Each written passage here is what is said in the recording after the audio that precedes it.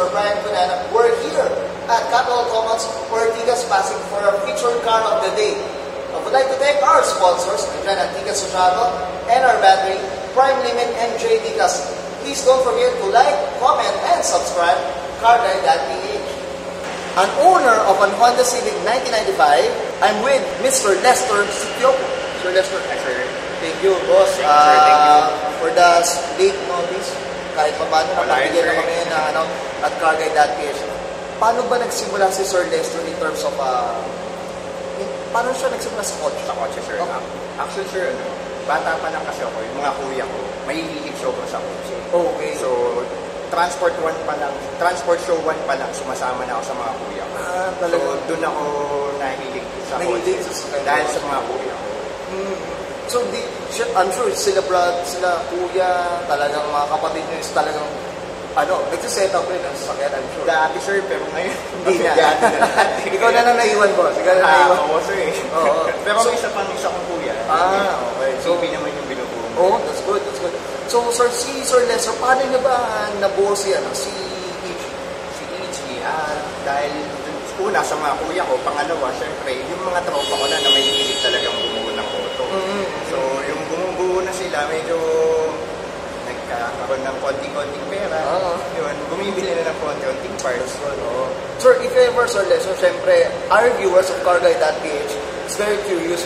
Meron ka bang pwedeng ibigay na tips para sa mga gusto magbuo rin katulad mo? Sir, sir, ano lang talaga, ah, pasensya lang talaga. Pasensya. Hanap ng mga pyesa. Ang hirap humanap ng pyesa eh, pero hanggang maaari, kung may mahanap na pyesa sa iba-ibang tao, sir, actually, kung saan-saan ako nag-source out ng pyesa. eh. So, yun yung pinaka mahirap, pero yun naman yung masaya pag nakompleto mo yung pyesa mo. Sa, sa mga nilagay mo sa EG9, ano yung pinaka-memorable mo at pinaka-gusto mo?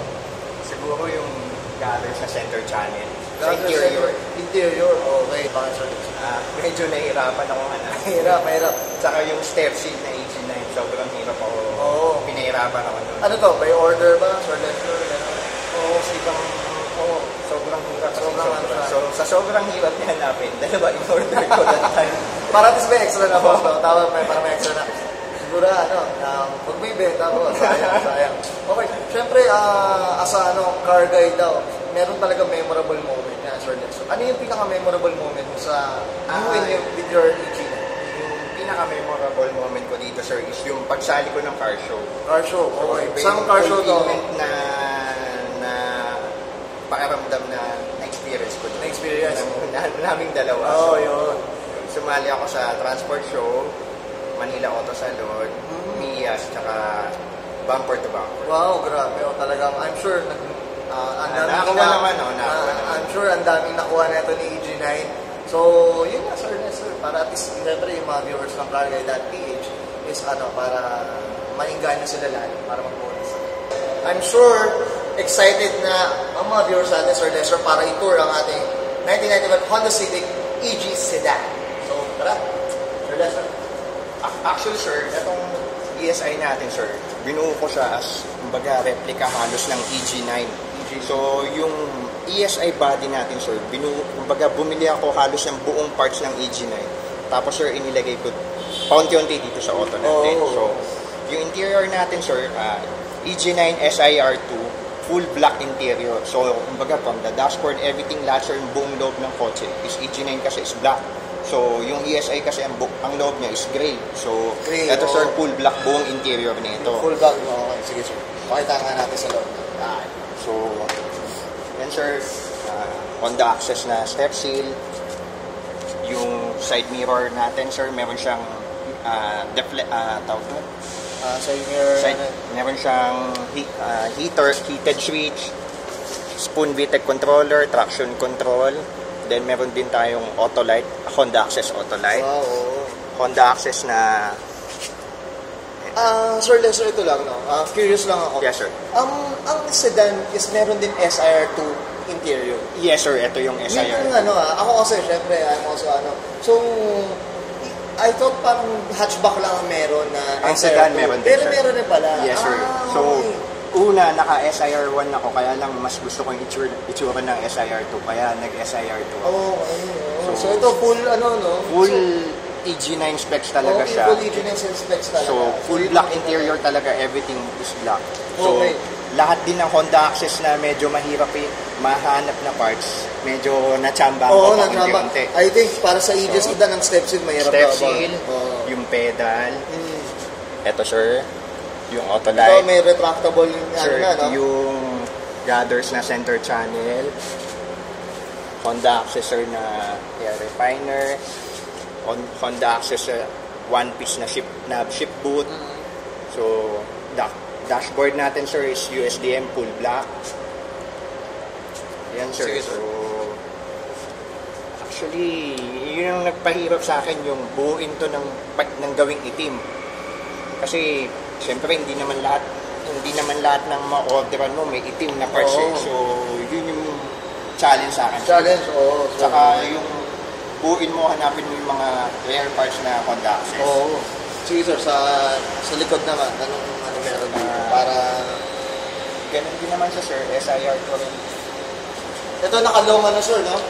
Nakalong armrest na siya. Long armrest, sir. Long armrest. So, SIR ko yung long armrest. Pero ang tunay kasi talaga ng HG9 is SIR1. So, mer meron akong SIR1 na long armrest. Meron din akong SIR2. Kaya lang kasi, medyo mas trip ko lang itsura ng SIR2. Kaya SIR2 yung nilagay ko. Pero ano siya, same O, po. same fabric, sir. O, pero sa EG9 kasi talaga, SIR1 ang, ang, ang armrest. Armrest. Although meron naman akong SIR1 na armrest, kaya lang mas gusto ko na yung itsura ng SIR2 na. Okay. So, pati, pati trunk ko, sir, meron din ako Honda Access dito na kahit yung sunroof visor ko, sir, Hon- Honda Access din, sir. Sorry, ang daming kalat. so, yung iba pati ah, Vision Technica na muffler, oh, sir. Okay. So sa interior tayo, Sir Nestor, na, ay ano, ah, exterior na. Exterior naman, sir. Yung bu- buong exterior din, sir, ng EG9 from the uh, ducktail, pati yung antenna natin. So, kumbaga, half function yung antenna natin. Oo, sir. yung So, function. yung buong badges ng EG9, kompleto rin tayo, sir. Yes, sir, ito, ito medyo mahirap mga ano na ito, dito. Yes, Kasi sir. ang may dalawang version na, tama ko ba, Sir Nestor? Yung isa yung parang sticker lang na... Tama, sir. Tapos isa naman yung naka parang ano. Yes, sir. siya. So, yung din natin, sir, Honda Access na slow plates. Retractable side mirror. Ito rin, boss. Tama, Sir Lester. Ito, Yes, mahirap sir. dito. Then, Yan. front and rear disc brake, EG9 lahat. Wrap around brown glass. Naka-brown glass siya, boss. Yes, sir. Wrap around brown glass na yun, sir. Tapos, As in, even the windshield. even the windshield. sir. Wow, Kasi grabe, yung oo. windshield ang pinakamahirap hanapin, sir. Oo, So, kasi boss, ang karamihan na kinukuha is ano lang, ah, mismo yung four doors lang, tsaka yung likod. Yun ang Yes, sir. Pati sa roof natin, sir, EG9 roof cut to.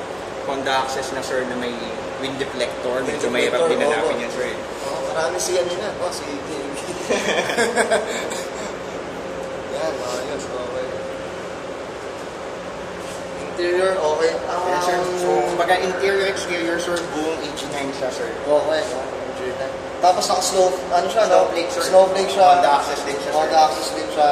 I, um, I don't know kung may dalawang version nito. Dalawang version, sir. Dalawa, tama ba, Sir, boss? so, pag Honda yung makikita mo, pang EG. Pag H yung makikita mo, pang EK. Ah, okay. So, ito, sir, okay. pang EG. Yan yung ano, yan palang ano dyan. Um, napansin ko sir, din sir, sobrang baba ng sasakyan. What's on the, ano ba? On the Ah, suspension eh. Suspension niya, sir, is coil over na Tanabe system. Okay, this is ano, full ano to, full sus talaga. Yes, full sir. sus boss. Kaya pala sagad yung ano, sagad yung baba boss. Then sa Ang hirap nga lang, sir.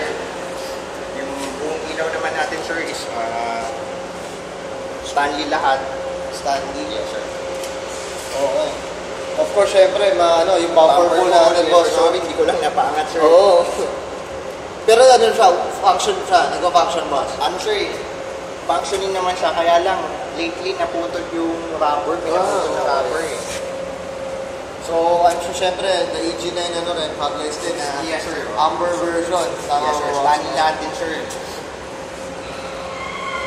Yung pati OEM parts sir ng ano, lahat sinurse out ko sir sa, kasi galing ako ng Honda show sir. So yung iba Ah, mostly sa Honda show, yung iba naman sir kay Eric Magaya. Oo, oh, talagang mapapansin nyo guys, no? Mga viewers natin, sobrang ano, ah, interior to exterior, sobrang uh, purist, all, almost talagang the, ano, identical of the EG9, no? Yes sir. So, ito na yung gustong gusto ko makita. Siyempre, of course, the engine bay. Ay. Engine bay.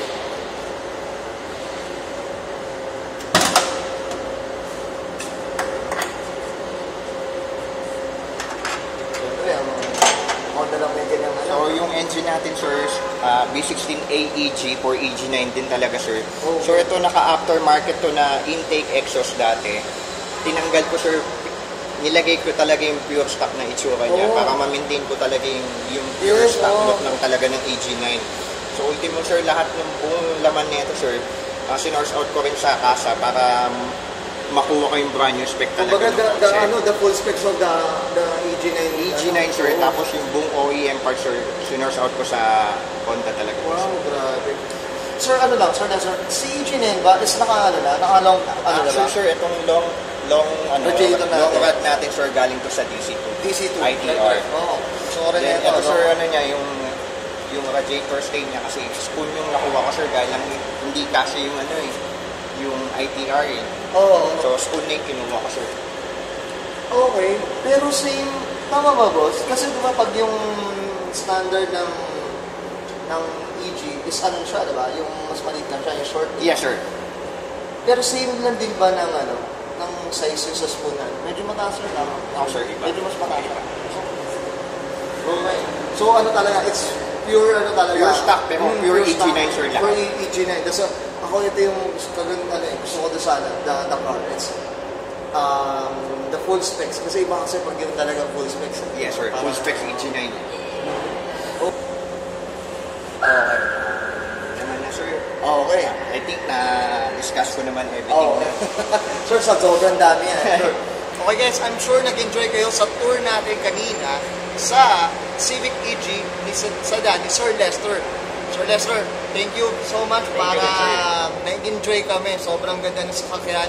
I'm sure Sir Lester, meron kang gustong pasalamatan. Ah, number one, sir, pasasalamatan ko lang yung yung wife ko kasi Yes, oo, si wife. si wifey kasi kahit anong i-request ko sa kanya, pumapayag pag bibili ako eh. So, second, kalaban ng anak ko is ito sa gastos. Ah, so, yun, boss. Medyo- yung anak ko si Leia. Okay. So, at then second is si Autogenic, si Richmond Sunga. Okay, and then, Autogenics. Papanyak Spec, Spec, J. Paulino. Ah, ang mabait at walang ah, ang mabait kong kaibigan at mura maningil, E-Works, Emilio, Emilio, tsaka Brumix, and then syempre num- most of all is the Car Guy PH. Uy, thank you, boss. Thank you, thank you. Thank you, Car Guy PH. Okay guys, I'm sure nag-enjoy kayo sa another episode of Car Guide.ph here at Ortigas Capital Commons Pasig City para sa featured car of the day. I would like to thank our sponsors, Nandiyan Antigas Travel, and our battery, Prime Limit and JD Gas. Please don't forget to like, comment, and subscribe Car Guide.ph.